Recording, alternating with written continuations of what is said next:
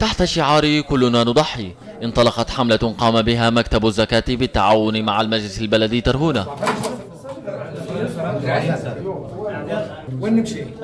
محمود 250 أضحية هذا العام.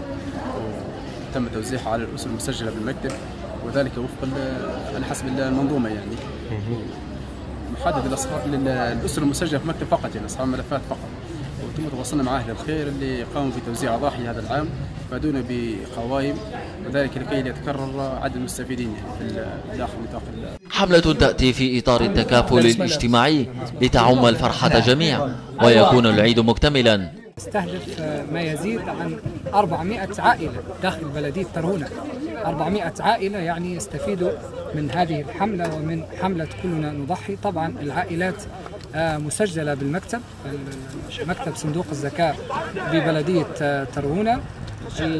طريقة تسجيل الملفات يعني كل هذه الملفات خضعت لبحوث اجتماعية من البحاث الاجتماعيين وخضعت للمسح الاجتماعي من البحاث الاجتماعيين التابعين لمكتب صندوق الزكاة بترهونة. نقول لكم كل سنة وأنتم طيبين. عيد لا يكتمل إلا بمبادرات التكافل والأخوة ومساعدة المحتاجين. لترتسم البسمة على الوجوه ويبتهج الجميع